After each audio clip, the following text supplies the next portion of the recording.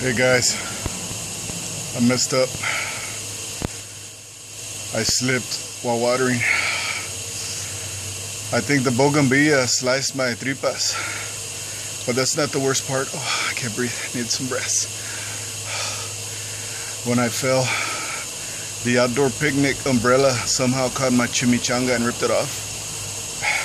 So there's no reason to live. I gotta go.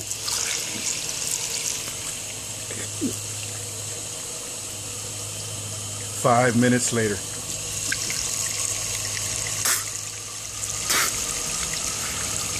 No chimichanga.